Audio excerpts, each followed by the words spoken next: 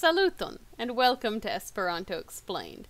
Today, I'm going to talk to you about one of my favorite affixes, mal.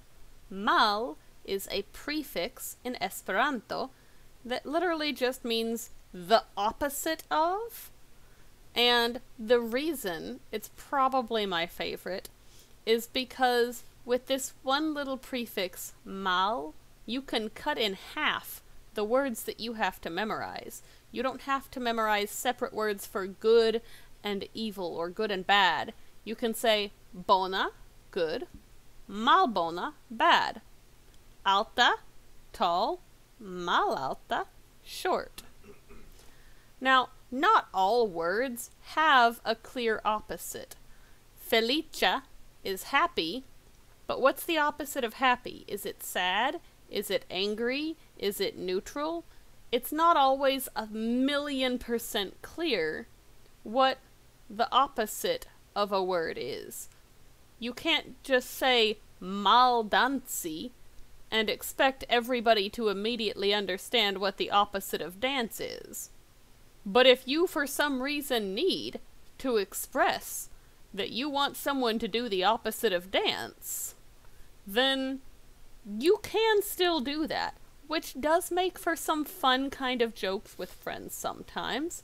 When you're wanting to say, no, no, ne ne, ne dansu, mal dansu. Don't dance, do the opposite of that. Whatever the opposite of dance is, because what's going on is not working.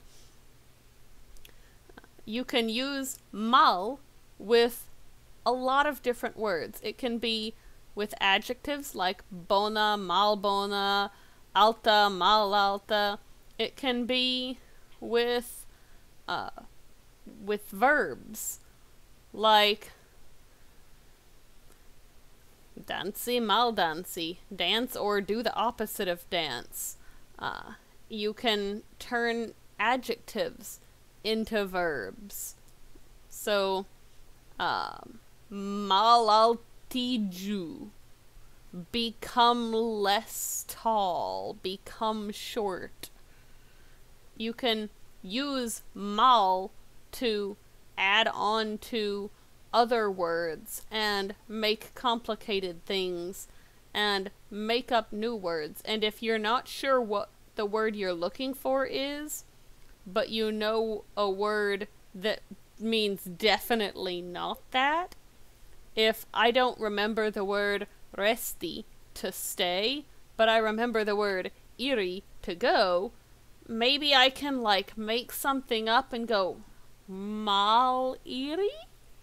And it's not going to be the right word. It's not going to be resti. But using the prefixes and suffixes, using word parts like mal, you can supplement the words that you don't remember. And even if it's not the right word, people might be able to figure out what you mean. And that's really the goal here. The goal isn't to be flawless in every way, it's to be understood. And mal is one of the prefixes that can really help beginners make themselves understood, kind of, even if they don't know all the words for everything they're looking for. That's all for today. Ĝis!